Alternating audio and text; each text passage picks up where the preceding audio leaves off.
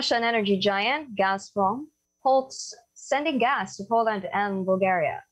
Poland state gas company said all Gazprom deliveries to the country will be halted by Wednesday. Gazprom deliveries to Bulgaria will also be suspended by Wednesday, according to its energy ministry. The move comes after Russia said unfriendly countries must start paying for its gas and rubles, or it would cut supplies. Both countries have refused to pay that way. Poland says the suspension is a breach of contract and it would take steps to reinstate the flow of gas into the country.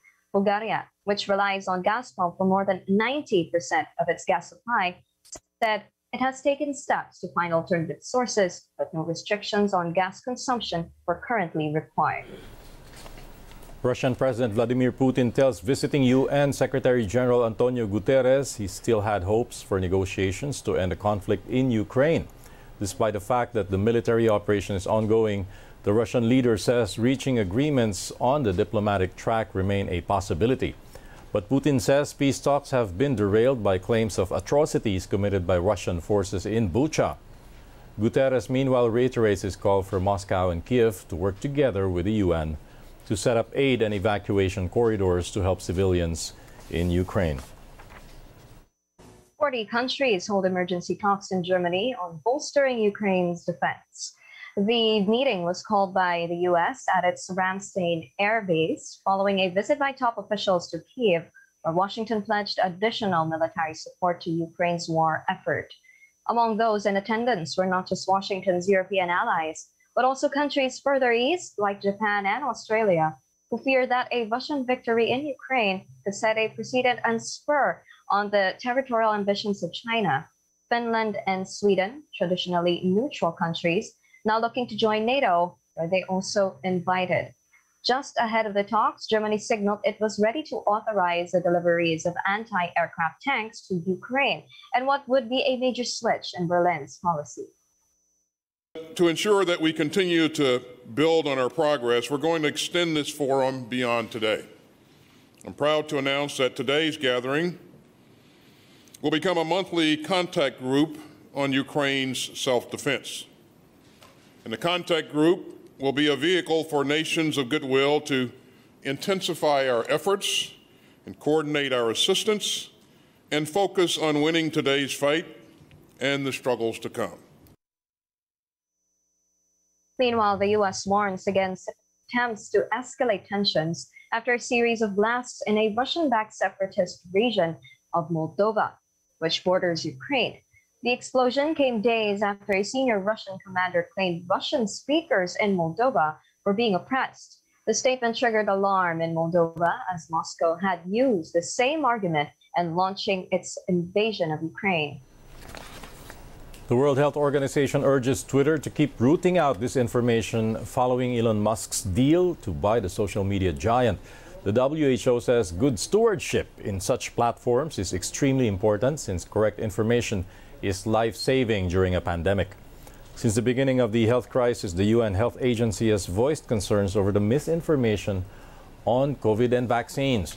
It has been working with Twitter and other social media platforms to battle the so called infodemic. Musk, who describes himself as a free speech absolutist, has uh, bought Twitter for $44 billion. This has raised fears his takeover could spell the end of efforts to rein in disinformation on the platform.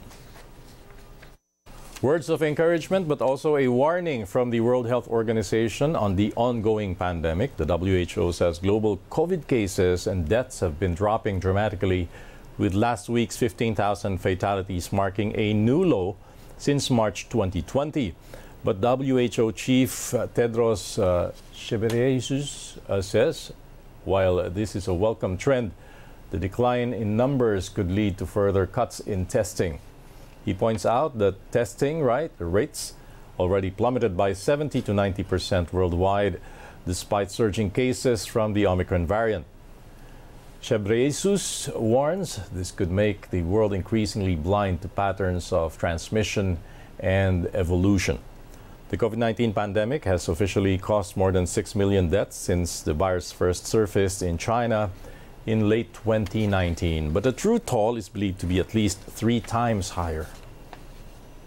U.S. Vice President Kamala Harris tests positive for COVID 19.